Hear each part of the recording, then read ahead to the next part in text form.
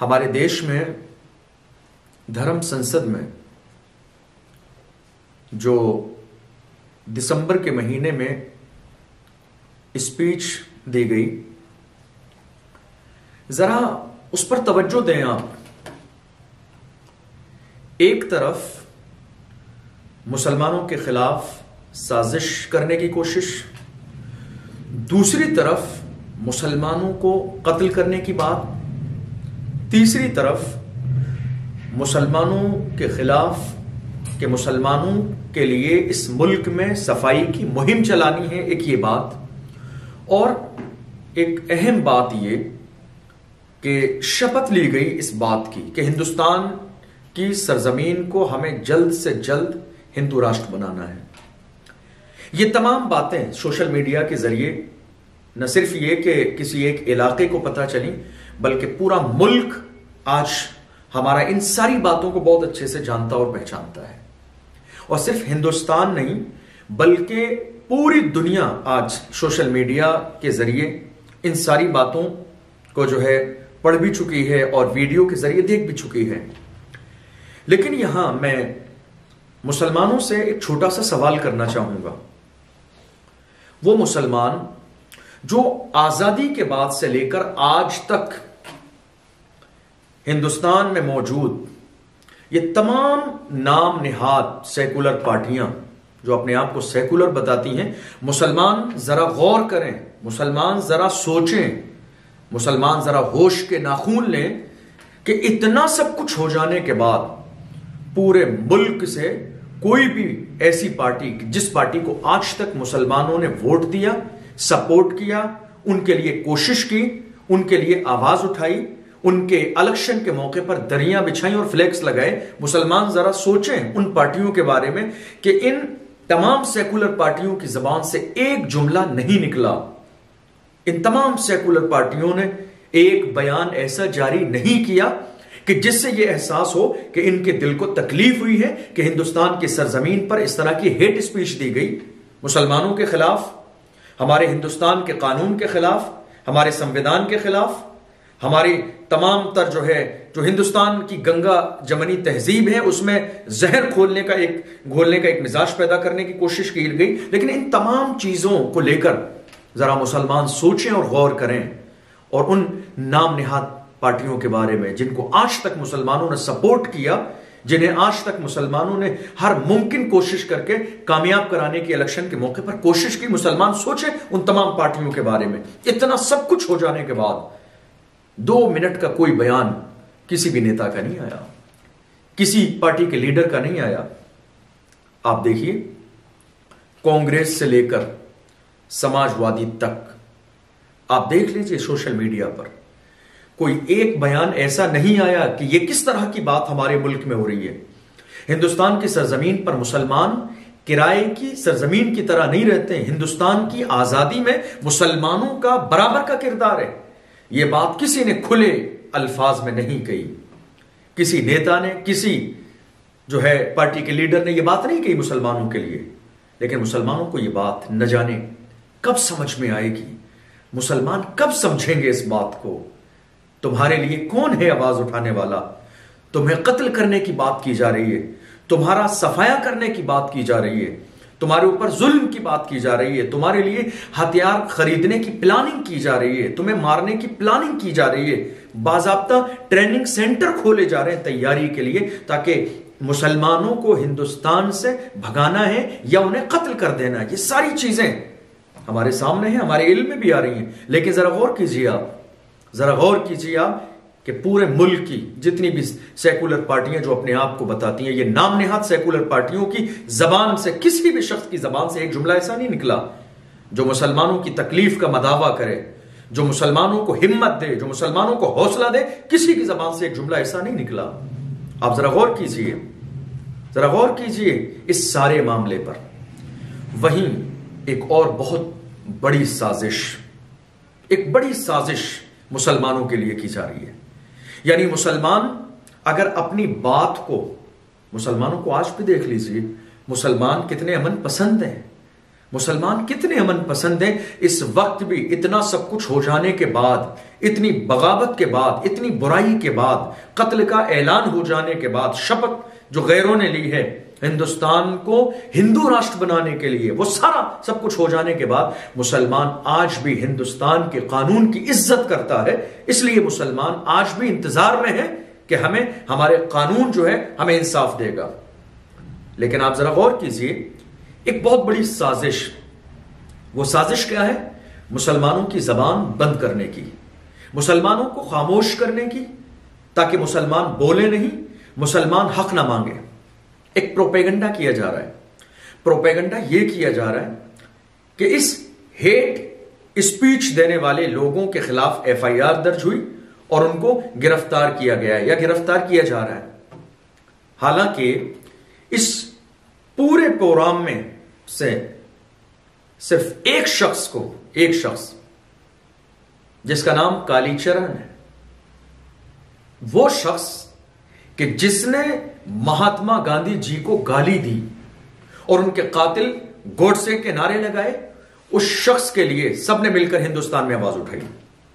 अपने अपने अंदाज में आवाज़ उठाई कि नहीं, उनको गाली नहीं देना चाहिए थी। ये तो गलत बात है, ये जुर्म है। इसको जो है कैद किया जाना चाहिए, जेल की सलाखों के पीछे जाना चाहिए। लेकिन मुसलमान वहीं सोचें कि सिर्फ़ एक महात्मा गांधी को गाली दी गई तो सब के सब जाग गए सारी पार्टियाँ जाग गईं सारी, सारी सेकुलर पार्टियाँ आवाज़ उठाने लगी। महात्मा गांधी जी को गाली कैसे दे दी? और आप याद रखें यह साजिश है आपको कहा जा रहा है नहीं आप शांत रहिए खामोश रहिए। जालिम गिरफ़्तार किए गए हैं या गिरफ़्तार किए जा रहे हैं? कोई ऐसा जालिम नहीं है जिसको गिरफ़्तार किया गया बल्कि सही बात यह है एक शख्स जिसका नाम कालीचरण है उस एक आदमी को दो से तीन दिन के बाद ही गिरफ़्तार कर लिया गया। लोगों की आवाज़ उठाने पर, इन नेताओं की आवाज़ उठाने पर कि उसने महात्मा गांधी जी को गाली दी है। लेकिन वहीं पूरे मुल्क में से किसी नेता ने, किसी सेकुलर पार्टी ने यह आवाज़ नहीं उठाई कि वहाँ पर धर्म संसद में गंदी जबान इस्तेमाल करने वाला एक शख्स, जिसको दुनिया नरसिंहा नंद के नाम से जानती है। उस शख्स ने कितनी बकवास की। गुंडों और मवालियों की जबान इस्तेमाल की, पाखंडियों की जबान इस्तेमाल की। साधवी ने 20 लाख मुसलमानों के कत्ल की बात की। लेकिन आप अंदाज़ा लगाइए, इनके खिलाफ क्या हुआ? क्या इनके खिलाफ एफआईआर दर्ज की गई? क्या इन्हें जेल की सलाखों के पीछे डाला गया? या इनको कोई सजा दी गई नहीं? वो एक शख्स सिर्फ़ एक शख्स को गिरफ़्तार किया गया जिसने महात्मा गांधी को गाली दी। उसके अलावा जितने लोग जिन्होंने मुसलमानों के कत्ल का मंसूबा बनाया सफ़ाई मुहिम चलाने की बात की हाथों में जितने भी आ, मारने वाले हथियार हैं वो देने की बात की मुसलमानों के कत्ल की बात की ये सारी जो बातें हुई शपथ जिस शख्स ने ली और दूसरों को दिलाई ये तमाम लोग आज हमारे मुल्क में पूरी आज़ादी के साथ घूम रहे हैं। पूरी आज़ादी के साथ घूम रहे हैं। इनके लिए कुछ भी नहीं हुआ। कुछ भी नहीं हुआ इनके लिए, मुसलमान इस धोखे में न रहे। इस धोखे में न रहे कि हेट स्पीच के बाद, हेट स्पीच के बाद इन्हें गिरफ़्तार किया गया, इन्हें जेल ले जाया गया, इनके खिलाफ एफआईआर दर्ज की गई। ये सब खुशी के साथ पुलिस प्रशासन की निगरानी में आराम से घूम रहे हैं। कोई इनसे कुछ कहने वाला नहीं है। और मुसलमान सोच रहे हैं नहीं, एक शख्स को पकड़ा गया है, इसलिए कि उसने हेट स्पीच दी थी, लेकिन वो उसकी स्पीच जो है, वो मुसलमानों के बारे में नहीं, महात्मा गांधी जी के बारे में थी, और उसी पर आवाज़ उठाई। बाकी तमाम चीज़ों को इग्नोर कर दिया इन सियासी पार्टियों ने। किसी ने एक जुमला अपनी जबान से नहीं निकाला। ऐसा लगता है कि ये तमाम पार्टियाँ, जब मुसलमानों के मसाइल आते हैं। जब मुसलमानों के मुद्दे आते हैं तो ऐसा लगता है ये तमाम नाम निहात सेकुलर पार्टियाँ बिल्कुल गूँगी और बहरी हो जाती हैं। किसी के पास कहने के लिए एक जुमला नहीं होता है।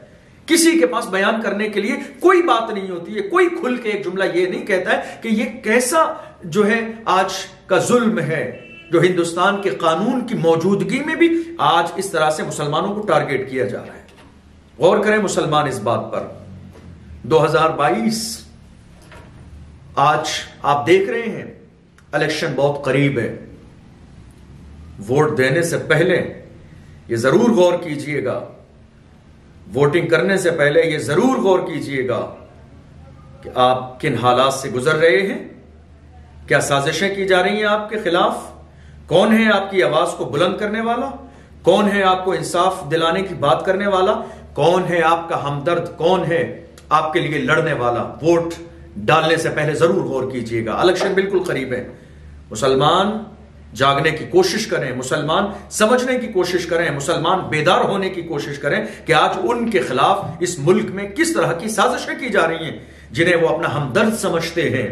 जिन पार्टियों की वो तारीफें करते हैं, जिन पार्टियों के लिए दूसरों से हुज्जत और बहस करते हैं, जिन पार्टियों के लिए रातों रात जागते हैं, न दिन देखते हैं, न रात देखते हैं, न सुबह देखते हैं, न शाम देखते हैं, जिनके लिए कोशिशें करते हैं, मेहनत करते हैं, इलेक्शन के मौके पर दौड़, दौड़ते हैं, इधर से उधर जाते हैं, लेकिन वो नाम निहात सेकुलर पार्टियाँ आज मुसलमानों के खिलाफ इतने बड़े बड़े मुल्क के कोने कोने पर ऐलान किए जा रहे हैं, लेकिन कोई एक जुमला कहने के लिए राज़ी नहीं है।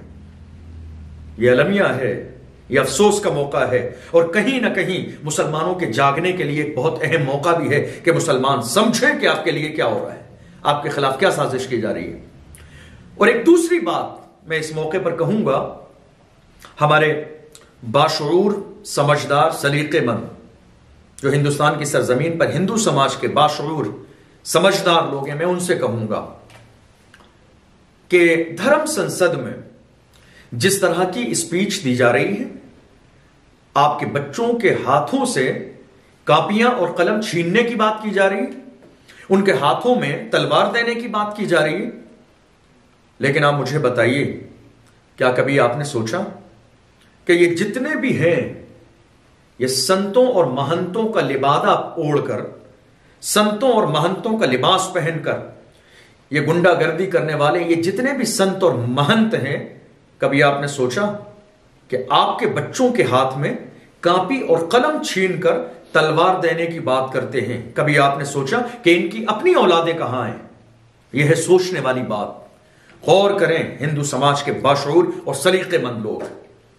हिंदुस्तान की सरजमीन पर मुसलमान और हिंदू आज नए नहीं रहते हैं। कभी किसी को, न किसी की चोटी को डर था, न किसी तिलक को डर था। तमाम लोग मोहब्बत के साथ, गंगा जमनी तहजीब के साथ आराम से रहते थे और आज भी रहते हुए नज़र आए हैं। लेकिन आज ये जो मुद्दे उठाए जा रहे हैं, हिंदू और मुसलमान के, ये महज अपनी राजनीति को चमकाने के लिए।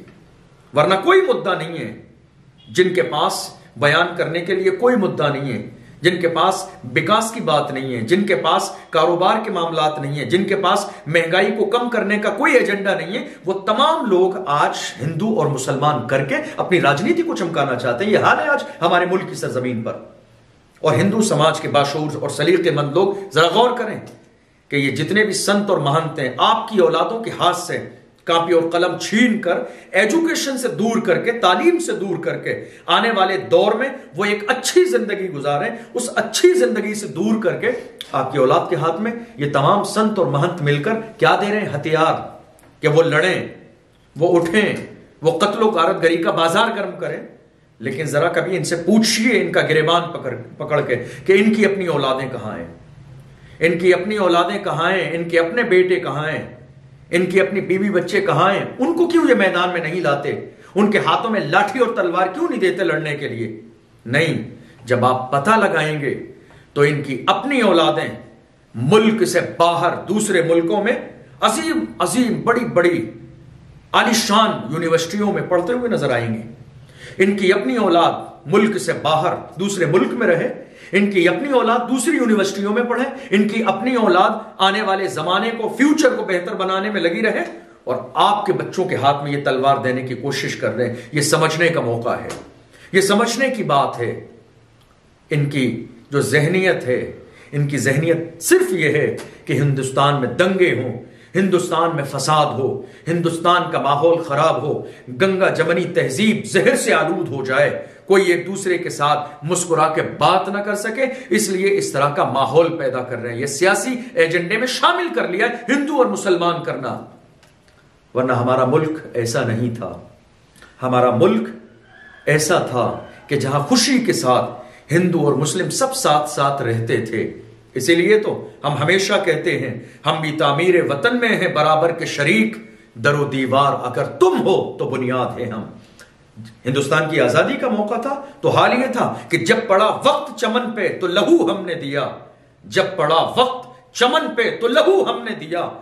आज कहते हो कि गुलशन में तेरा काम नहीं, और जो लोग नफरत फैलाने की कोशिश करते हैं, उनको सुनाइए बार बार राहत इंदौरी का वो शेर, जिसमें उन्होंने कहा था, लगेगी आग तो आएँगे घर कई जद में, लगेगी आग तो आएँगे घर कई जद में यहाँ पे सिर्फ़ हमारा मकान थोड़ी है। यहाँ पे सिर्फ़ हमारा मकान थोड़ी है। इसलिए मुसलमान बेदार हों और समझें समझें सोच को। मुसलमान समझें इस साजिश को कि मुसलमानों को बस लॉलीपॉप देकर समझाने की कोशिश की जा रही है। कि आप खुश रहिए बस इसी में? आपका कोई मकाम नहीं है, कोई वैल्यू समझिए इस बात को। इलेक्शन का मौका है 2022 का इलेक्शन बहुत करीब है। वोट डालने से पहले उन जुल्मों को ज़रूर याद कीजिएगा जो आपके ऊपर जुल्म किए गए हैं या आगे जुल्म करने की कोशिश और तैयारी की जा रही है।